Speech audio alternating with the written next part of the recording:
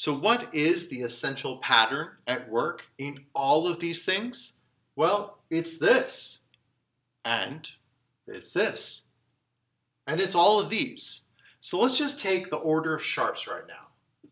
F, C, G, D, A, E, B. Order of sharps here. We know that sharps go this way and flats go this way. What is the key signature for major that has no sharps or no flats? Well, that's the key of C. And as we said, that if we go this way, then we get sharps. And if we go this way, then we get flats. What that means is now I have all of the key signatures because I know that zero sharps and flats is C. And I know that if I go this way, one sharp is the key of G, and two sharps is the key of D.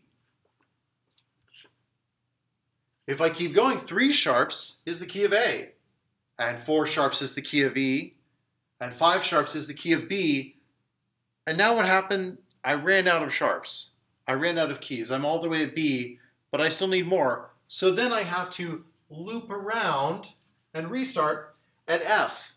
But F's already been sharped at this point, so now it becomes F sharp, and then I end right where I started at C sharp.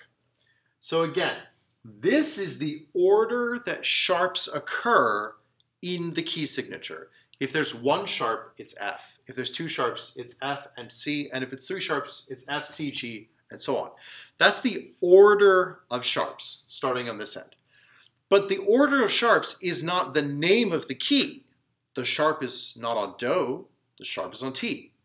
So the order of sharps is this way, but the key starts here with zero, and then one sharp, and then two sharp, and then three sharp. So for example, the key of A major has three sharps. And those three sharps are F, C, and G. The key of B major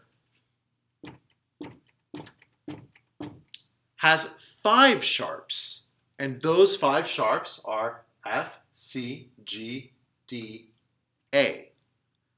We can also double check ourselves because if B is the tonic, then the last sharp will be Ti right below it. So if B is the tonic, then the sharp is A right below it.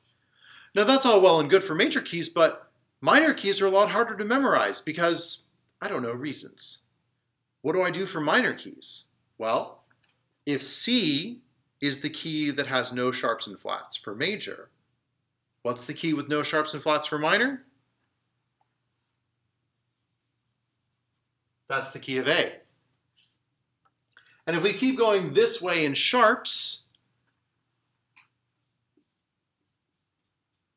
and this way in flats, just like what we did for the major keys, we know that A is the minor key with zero sharps, and that E is the minor key with one sharp, and that B is the minor key with two sharps.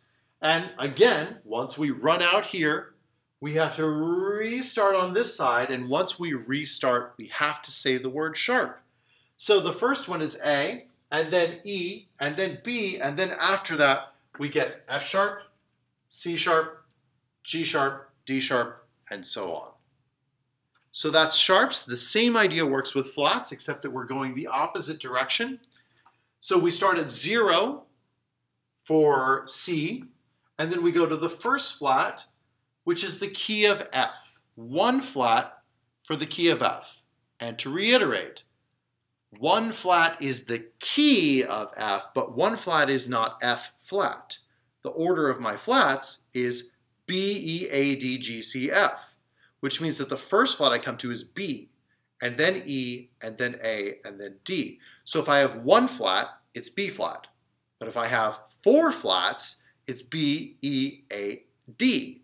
And if I have six flats, it's B, E, A, D, G, C. That's the order that the flats happen in the key signature. But the order of flats that happens in the key signature is this way. When I start actually naming the keys that those, those flats are part of, I start here with A at 0. The key of D has one flat. The key of G has two flats. The key of C has three flats. The key of F has four flats. And once I run out there, I have to restart on the other side. So now B flat, E flat, and A flat. So essentially, all of our work with key signatures and scales can be summarized right there. Now I say summarized, not replaced. If you don't understand how these work and why these work, this will largely become meaningless to you. And if this is confusing, go back and review your scales. Go back and review the circle of fifths. Go back and review how we came up with all of these answers here. And then, once you understand all of that, this becomes an incredible tool, a great shortcut for remembering how key signatures are built, the order the flats occur, the order the sharps occur, the order that sharp keys and flat keys occur, and how to find major and minor keys that have the same number of sharps and flats. For example, the major key with three sharps, one, two, three, A. The minor key with three sharps, one, two, three, F sharp. Now we can realize that A and F sharp share the same key signature, what we call relative keys. So this is a great shorthand.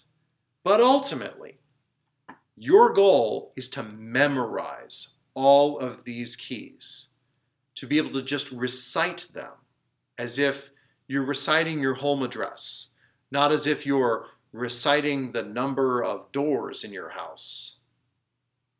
Uh, uh, uh, uh, 12? I don't know, do you count closet doors? Or what about the garage doors? That counts two, right? That's the way a lot of people are, view key signatures. They can figure them out, but they don't know them.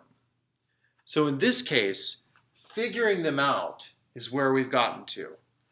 And this is a great way to figure them out quickly. But ultimately, you're going to need to know them. That comes with practice that comes with concerted effort, and that comes with time spent in memorization.